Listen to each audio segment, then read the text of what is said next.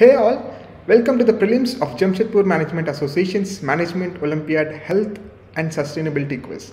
I'm Vishnu, your quiz master for the day. This quiz is brought to you in association with TackOn and Quriosity Knowledge Solutions. So, without any further delay, let's quickly jump to the rules of the prelims. Here are the rules. All the participating teams are requested to open tackon.org slash JMA that is tackon dot org slash JMA. You can find the link for answer sheet on the web page. Open the link, enter your details and wait for me to start the quiz. There are no negative marks so please feel free to attempt all the 20 questions in the quiz. There is a maximum time limit of 30 seconds for every question. The timer starts as soon as the question is displayed. The top 6 scorers from the prelims will compete against each other in the finals. And remember the questions will not be repeated. So make sure you are concentrating on the screen without googling the answers. So those were the rules for the prelims. Please keep track of the question numbers and make sure that your answers are being entered in the correct field. Here comes the first question of the quiz, an easy one to start with. Here is question number 1. Black buck is the fastest animal in India. The top running speeds of black buck is due to which regionally extinct animal with whom black bucks once shared their ecosystem. 15 seconds to go. Uh, we are talking about an animal which is not existing in India anymore and that animal is the reason why black bucks have their top speeds. That was question number 1. Moving on to question number 2. What was blamed by former Environment Minister Jairam Ramesh for dwindling owl population in India? A very weird reason given by uh, the former uh, Environment Minister for the dwindling owl population in India. Look at the picture, that's also a hint there. It's not just any other uh, normal owl, it's some one particular owl, a famous owl, if you know it. So, what was the reason given by Jairam Ramesh? That was question number two. Next question on your screens now. According to Albert Einstein, if Dash were to disappear from the earth, human beings would be dead within 4 years. Although this line was first used during a protest in 1994, it is often wrongly associated with Albert Einstein. Fill in the blank. Which organism are we talking about? 9 more seconds to go. That was question number 3. Question number 4 on your screens now. You simply have to select the correct option and enter the correct answer in the answer field.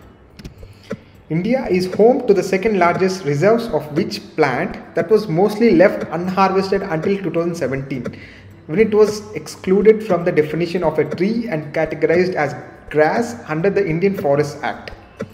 Your options are neem, Sundarban mangroves, bamboo and red sandal.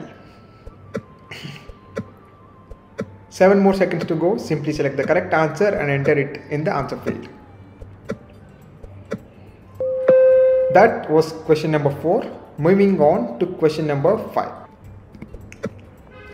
Ramchandra Sharma was the finest sculptor of Jaipur. He was once invited by Dr. P.K. Sethi to teach art as a therapy to polio patients. He was moved by the pain of patients and created something iconic in 1968 in the world of orthopedics. So, what was created by Ramchandra Sharma in the world of orthopedics? Very iconic from Jaipur. Three more seconds to go. A very iconic product and a simple answer we're talking about. That was question number five. Question number six on your screens now. Radiotrophic fungi could be potentially used as a shield from radio radiations during the space flight. Where was the fungi first discovered in 1991? This was again recently in news for some other reasons, for very wrong reasons, always in the news for wrong reasons. But why, where was it first discovered in 1991? So that was question number six. A simple name of the place is the answer. Where was this radiotrophic fungi discovered? Moving on to question number 7.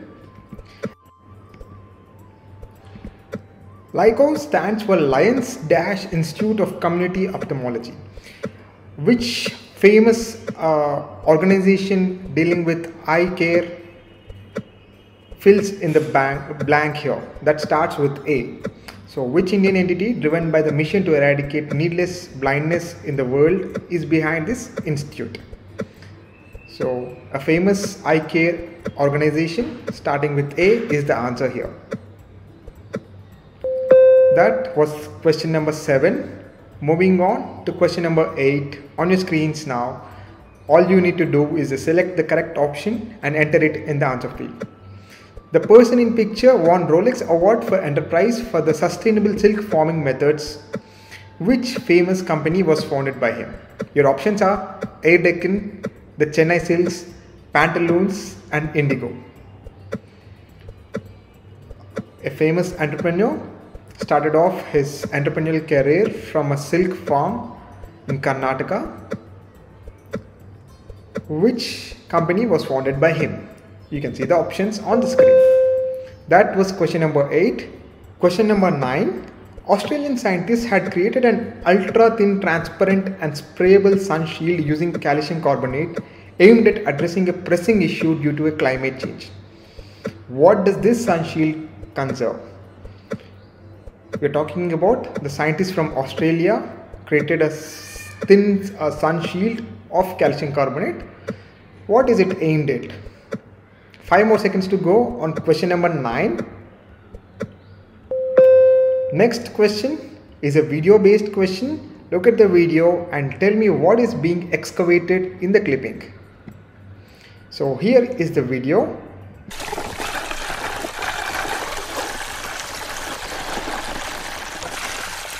The amount of cement required is extraordinary. For three days they kept pouring, until 10 tons of cement had disappeared down the tubes.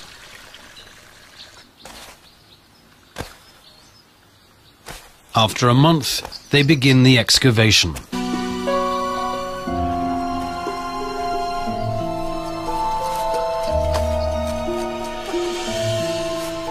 There are subterranean highways connecting the main chambers, and off the main routes are side roads. The paths branch and lead to many fungus gardens and rubbish pits. The question is, what is being excavated in this clipping? Moving on to question number 11 on screens now. Charles Lucien Bonaparte was the first to create such practical structure to control temperature and produce agricultural products. Which name given to this kind of structure is often used in discussions about climate change? A very frequently used word in discussions about climate change comes from this structure. Which structure am I talking about? That was question number 11 question number 12 with options on your screen now. How did this glass pebble beach in Hawaii form? Your options are salt deposits, seabird droppings, oil spill and discarded glass. Simply select the correct answer and enter it in the answer field. You have 15 more seconds to go for a very simple question. Question number 12. Please keep track of the question numbers. Make sure you are entering the correct answers in the correct field. 5 more seconds to go. Moving on to question number 13. Again a multiple choice question. In February 2021, a project to build this giant island providing enough energy for 3 million households was given the green light by which country? Your options are Denmark, El Salvador, New Zealand and Russia. Simply select the correct answer and enter it in the answer field. Question number 13. 7 more seconds to go. Next question, question number 14 on your screens now. What term is what term is given to claims of environmental sustainability by a brand that are false or misleading, mainly in textile industry? a one word answer, I'm looking for brands claiming they are sustainable and environment friendly, but they are actually not. Especially this term is used for such claims in the textile industry. So, which one word term am I ask, talking about? Three more seconds to go on question number 14. Moving on to question number 15, again a term related to the environment. Professor Broecker was among the first to connect emissions of CO2 to raising temperatures back in the 1970s. What two word term did he popularize?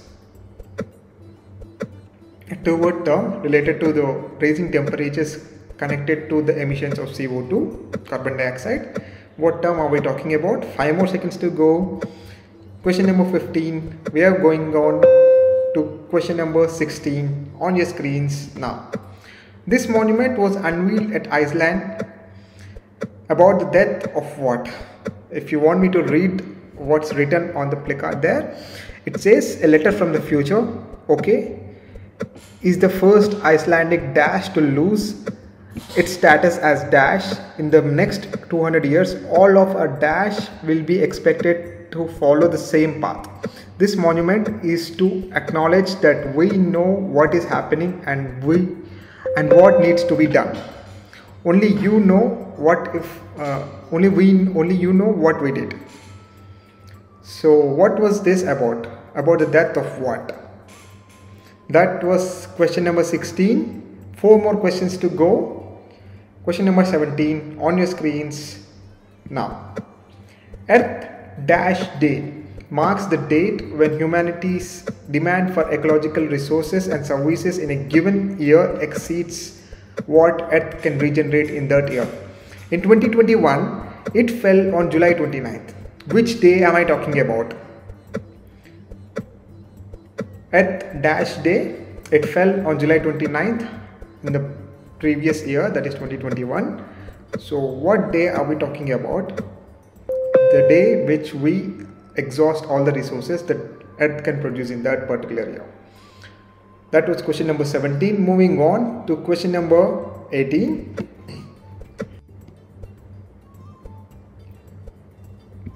question number 18 ad of which controversial company in india is this? A famous uh, fertilizer company but is also famous for uh, very bad controversy in India. So, which controversial company's advertisement was this? That was question number 18. 10 more seconds to go. Moving on to the penultimate question, question number 19. On your screens now. According to the documentary Seaspiracy, one of the greatest threats to our oceans is not from plastic straws but from Dash, which discarded accessory used to produce food for millions across the sea coast of the world forms 0.03% of Great Pacific Garbage Patch. So we are talking about something which is used to produce food for millions across the sea coast of the world. It also causes a lot of plastic waste in the sea. So which accessory are we talking about? That was penultimate question, question number 19. We are moving on to the final question, question number 20. And remember, you'll be getting 30 seconds after question number 20 to submit all your answers. You're supposed to submit all your answers in that 30 seconds time frame. The answers submitted after that will not be accepted. So question number 20, the final question of the prelims on your screens now. In September 2021, the US administration finalized a climate regulation aimed at slashing the use of powerful HFCs, greenhouse gases, by 85% within 15 years. What does HFC stand for? These are greenhouse gases. All of us must have read about this in our schools. So, what does HFC stand for? That was question number 20. Three more seconds to go you will be getting 30 seconds after this. To submit all your answers, your timer starts now.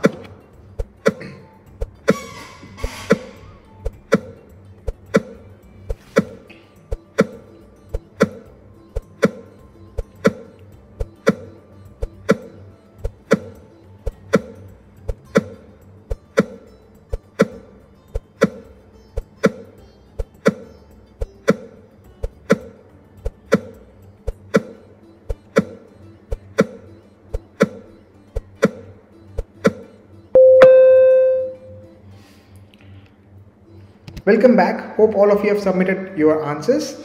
Let's quickly go through the answers of the prelims of health and sustainability quiz. So this is the question number one. Uh, the question was about the reason why black bucks are the fastest animals in India. The option uh, that's because of an extinct animal with whom once they shared the ecosystem. The answer is cheetah. Indian cheetah is extinct. Uh, the last cheetah was killed somewhere around 1948 and there was no cheetah in India after that. And government is trying to reintroduce by taking few species from Iran, but the negotiations negotiations have been going on since like 15 or 16 years. Let's see what happens. Next question, question number two. The answer for this, I said, look at the owl. It is, it is not any other owl, but it is a special owl. The answer for this is Harry Potter. So in Harry Potter, many students will be having owls as the pets after reading the books and looking at the and watching the movies. Many kids were asking their parents for owls, and parents were giving the owls as uh, gifts to the kids on birthdays. So Jairam Ramesh pointed that that was one of the reasons why owl population is decreasing in India. Question number three, we're talking about a code usually associated with Albert Einstein, but it was never given by Albert, Albert Einstein. It was first used in 1994 in a protest. So which organism are we talking about? Uh, which organism is this code related to? So it's honeybees. More than half of India's cultivated plants depend on pollinators to produce fruits, seeds and nuts. Two-thirds of the fruit yields and 40% of our vegetable production happens with the help of insect pollinators like bees. So if the bees does not exist, most of the fruits and vegetables or all the agricultural products uh, the production of agricultural products will fall down. That's the explanation behind that quote often associated with albert einstein but he never said that in his lifetime.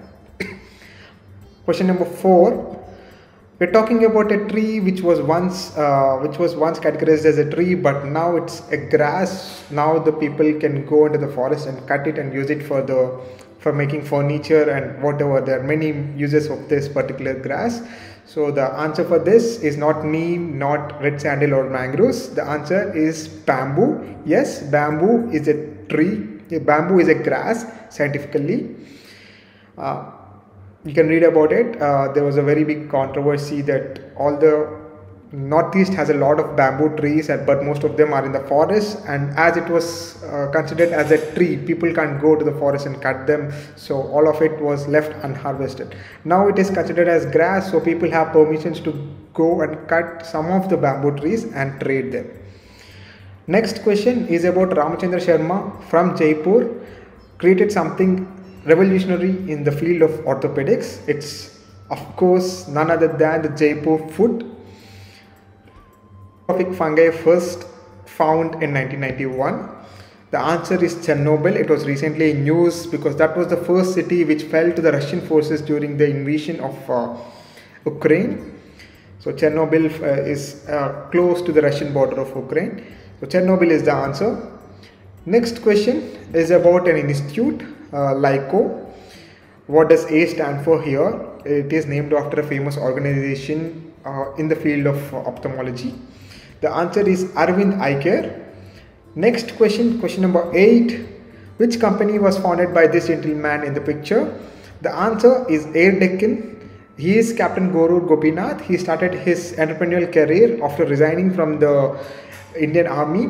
He started a silk farm and he uh, he introduced many innovative systems and he got a prize from Rolex for all these things. Later on, he went ahead and created Air Deccan and many other companies. Next question, question number 9. Australian scientists created an ultra thin layer of calcium carbonate. What was this for? The answer is coral reefs. Question number 10. It was about an excavation of something. What was being excavated? The answer is ant colonies. Ant colonies look very small on the top, but once you go deep inside, they are too huge. So you can see in the video how huge the ant colony was. So they first filled the slab inside that hole and then they excavated so that they can see how huge it is. Otherwise, it just collapses if you go on excavating. You don't know how huge and the architecture of it. And here you can see in the picture a smaller version of a similar ant colony. Next question is about a term often used in uh, discussions about climate change named after this structure? The answer is greenhouse effect. So this is this structure is greenhouse and greenhouse effect explains how uh, how the gases are warming the earth's atmosphere. Next question is about the formation of a glass pebble beach in Hawaii. The correct option is discarded glass. So glass beach is a beach in Eli, an industrial area in Hawaii that is made of sea glass. It is a uh, it is in Ha'apai Bay near Port Allen Harbor. The beach's regular rock is basalt, but the sea glass formed after years of discarded glass. Question number 13. Which country came up with this, uh, uh, gave a green light to this project? The correct answer is Denmark. The world's first energy island will be as big as 18 football pitches, but there are hopes to make it three times that size. And next question is about a false claims by companies, especially in textile industry. The answer for this is greenwashing. And question number 15 is about the Professor Broecker and the term given by him, uh, which connects the emissions of CO2 with the rising temperatures. The answer is an easy one, which we hear in the news every day. That's global warming. Question number 16 is about death of something commemorated by Iceland government. The answer is glacier. Next question, question number 17. Which day marks the humanity's demand for ecological resources have been exhausted for that particular year? The answer is Earth Overshoot Day. So that particular day we have already used all the resources which the earth can produce in one year. Next question, a controversial company whose advertisement is this? It's uh, Union Carbide controversy is none other than the Bhopal gas tra tragedy. Question number 19 uh, which uh, accessory used to produce food for millions across the sea coast is causing a lot of plastic pollution in the seas. That is fishing nets. Question number 20 what does hfc stand for? That's uh, hydrofluorocarbons. So those were 20 questions of the prelims. We'll meet you in the finals. All the best. Vishnu signing off